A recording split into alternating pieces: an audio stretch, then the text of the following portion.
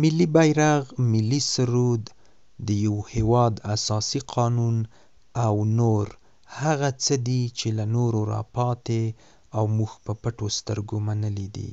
که چا نه دي منلي، ورسره دښمنان شوي یو. دا شیان د نړۍ هغه هېوادونه هم لري چې ځانونه د بشر د حقونو مدافعان ګڼي، خو د ډېرو وګړو یې نه دي خوښ.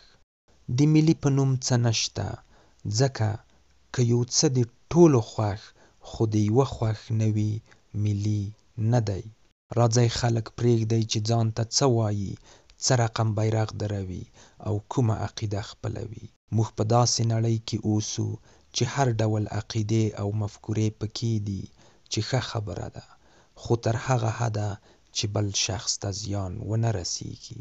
د هغې ورځې په انتظار چې هېوادونه نه بلکې نړۍ وي، حکومت نه ملګری وي، زور نه خوښه وي، هر کس ته خپل حق ورسېږي او خلقستان وي.